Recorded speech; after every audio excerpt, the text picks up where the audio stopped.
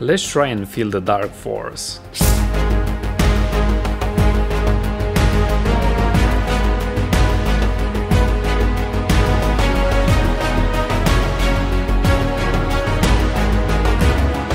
Today we have a lightsaber.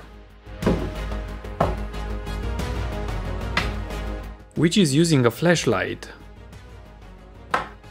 And we have to make the blades.